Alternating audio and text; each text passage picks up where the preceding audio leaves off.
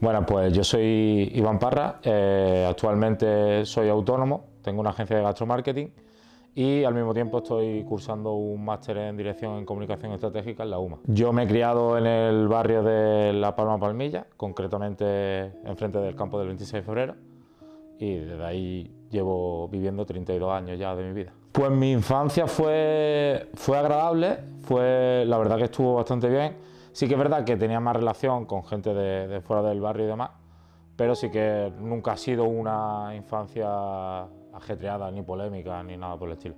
Sí, he tenido una infancia normal, o sea, he podido salir a jugar con mis amigos, tenía mi grupo de amigos de pequeño, pequeño aquí en el barrio, salía a, a la plazoleta del parque, o sea, del barrio a jugar a la pelota y demás, o sea que por eso sin problemas, vaya.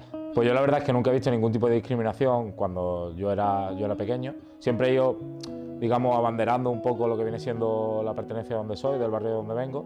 Y sí que es verdad que a lo mejor he notado un poco de sorpresa en mi entorno eh, a la hora de estudiar ya estudios superiores, como que se sorprendían de que yo fuera de la palmilla, en plan por el hecho de, wow, ¿qué hace aquí alguien de, en la universidad siendo de la palmilla? Pero quitando eso, no, nada, nada raro. Desde pequeño siempre me han inculcado el valor de la, educación en casa. Tanto mi padre como mi madre, vaya, los dos siempre se han preocupado. Tanto a mí como a mi hermana, vaya, los dos siempre nos, han educado y siempre han estado trabajando con eso, con la idea de que eh, nos comportásemos de la mejor manera posible y de forma cívica, vaya. Yo, la, tanto infantil como primaria, lo estudié en el Colegio Misionero Cruzada de la Iglesia eh, la verdad que tengo pocos recuerdos sobre esa época. Sí que es verdad que no, que no diría que es mi mejor época de, mi vida, porque considero que es mi mejor época ir más adelante cuando ya empiezo a estudiar lo que a mí me, apasiona. Pero sí que tengo buenos recuerdos de aquella época. Pues durante la secundaria eh, yo básicamente hice primero y segundo en, el mismo colegio, en el Colegio Misioneros Cruzadas de la Iglesia.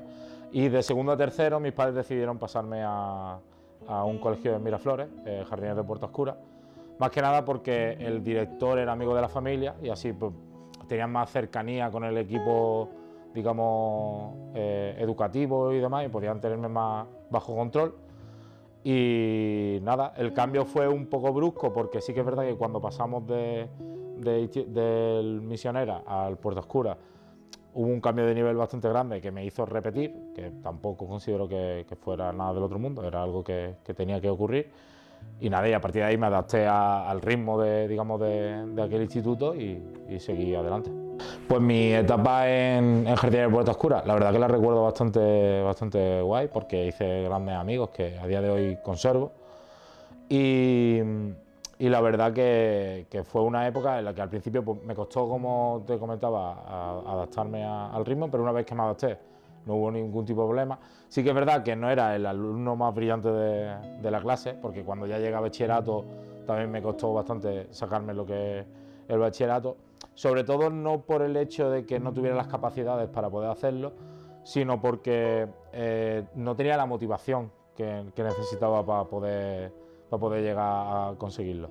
Entonces, fue una época un poco turbia, por así decirlo, pero con persistencia, pues al final acabé sacándomela y iba encaminado con mi idea de, estudiar el grado de Publicidad y Relaciones Públicas. Y cuando ya acabé bachillerato hice selectividad, no me dio la nota y lejos de, digamos, abrumarme por esa situación, lo que decidí fue tomar otra vía diferente que me llevara a conseguir mi objetivo, que fue estudiar el ciclo superior de, imagen y sonido. Sí es verdad que fue bastante complejo y complicado el llegar al, grado, que aún así no es mi, mi pic máximo de, estudio, pero sí que es verdad que, que, durante todo el proceso lo que yo tenía siempre eh, en la mente era que lo importante no era llegar el primero, sino llegar. O sea, más vale llegar tarde que, no llegar nunca. Yo empecé el grado de, imagen y sonido en el Jesús Marín con la idea de llegar, como te he comentado, al, grado de publicidad. Entonces yo desde el día uno tenía claro cuál era mi objetivo, que era conseguir la mayor nota posible para poder entrar de, forma exitosa en el, grado. Esa época de, de mi vida estudiando es una de las que más recuerdo con más cariño, porque como ya te comenté, pasé de estudiar cosas que no me importaban o que no me llamaban la atención y que me parecían súper aburridas, a empezar a estudiar cosas que me interesaban muchísimo. Además también conocí a grandes amigos que también sigo teniendo a día de hoy y, fue una época que recuerdo con, mucha, con mucha ilusión y mucho añora. Me di cuenta que mm, trabajar, o sea, estudiando lo que te gusta te cuesta bastante menos. Entonces a partir de ahí empecé a como buscar esa vía en la que dedicarme a aquello que me gusta. ¿Vale? Y también justo en esa época empecé ya a trabajar de forma los fines de semana como fotógrafo en diferentes eventos de, fotos, de, como de comuniones y demás. Y ahí, a partir de ahí empecé a ver, por así decirlo, la parte buena del trabajo, que es la remuneración, de conseguir dinero y demás. Eh, a raíz de, esta época, de, estudiar el, ciclo superior, eh, obviamente, como te comenté, tenía el objetivo de, llegar a publicidad, conseguir la nota.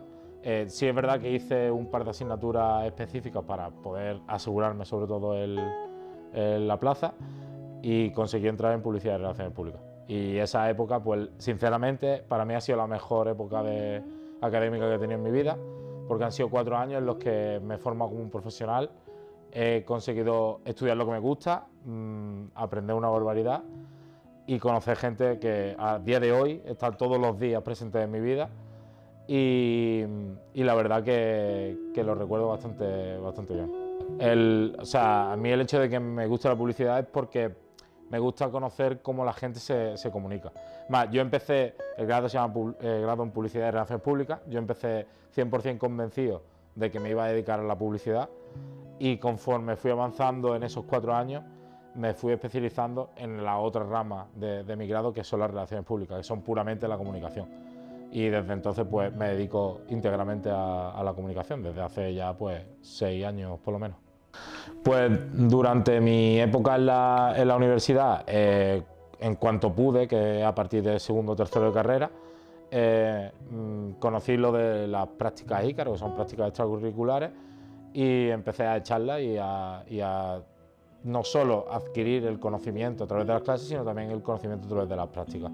Entonces estuve saltando en diferentes empresas hasta que acabé la carrera y una vez que acabé la carrera tuve la disyuntiva de, bueno, ¿y ahora qué? Porque es algo que todo el mundo nos preguntaba cuando acabamos la carrera. Y yo decidí hacer un máster en marketing digital que me dio las puertas, o sea, me abrió las puertas para poder eh, coger y dar el salto a diferentes empresas donde estuve trabajando durante tres años más o menos, eh, hasta que di el salto al autónomo. Pues como te comentaba, mi gran pasión o una de mis grandes pasiones en la vida es la comunicación. Entonces, cuando estudié el máster en marketing digital, esa pasión por la comunicación viene a través de las redes sociales. Entonces, yo en todos los puestos de trabajo que, he estado, me he encargado, era la persona que gestionaba todas las redes sociales de las diferentes empresas donde, donde trabajaba, Twitter, Instagram, Facebook y demás. Entonces, el trabajando en la última empresa en la que estuve trabajando, vi que conseguía cosas, pero que esas cosas, esos hitos profesionales que conseguía, no terminaban de llenarme, porque trabajaba en un sector que no me apasionaba y demás. Entonces, por eso decidí dar el salto a ser autónomo, porque la otra, otra de mis grandes pasiones es la gastronomía, entonces decidí unir mi pasión por la comunicación y mi pasión por la gastronomía para poder trabajar de ello. Empecé siendo autónomo y me embarqué en esa aventura básicamente porque mi intención es eh, que a través de las redes sociales cualquier empresa de restauración, ya sea restaurante o empresa cárnica, heladería, lo que sea, pueda tener un buen departamento de marketing que les sepa gestionar esa comunicación porque las personas, o sea, los restauradores saben muy bien mucho de cocina, pero no saben de comunicar. Entonces, mi, mi idea es ser esa pieza clave que les ayude y les complemente a la hora de, comunicar en redes sociales.